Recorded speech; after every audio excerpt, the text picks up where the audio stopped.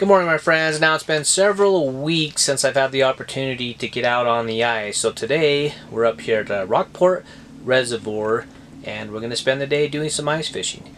Now we finally got the tent set up in some very windy conditions but we're set up, we're ready to go and we're ready to start fishing.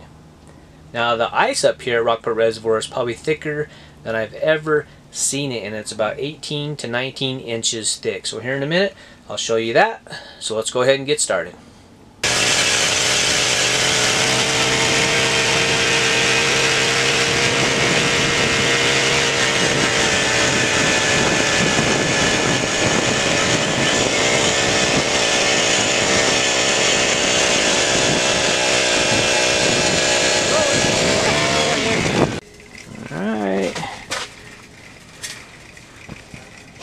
What we got? That's got to be a perch. A little perch? Yeah, Yeah, a little perch. Oh yeah.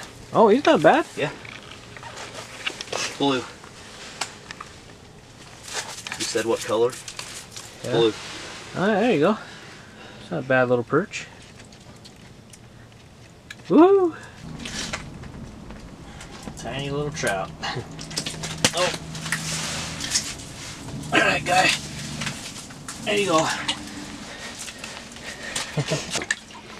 Nice. It's a little one. Nice little beautiful. Came right through at Beautiful 11, colors. 11 feet. Sorry, I lost you. I was looking at my pole. beautiful. Beautiful ready? colors. Yeah. No, Where- no- which which one you gonna go in? The No middle? tag, no tag, right here. Okay. Here he goes. There he goes. Mm. Alright guys, well our ice fishing trip has been cut short. Uh, it's been kind of a rough day. We've been dealing with the wind.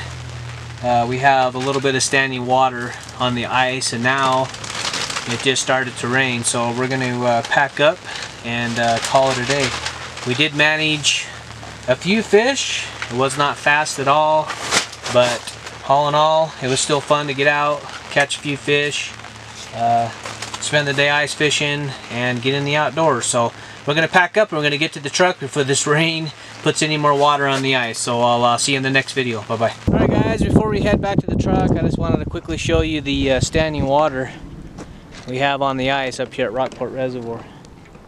Now most of this is caused because it's been about 50 degrees today.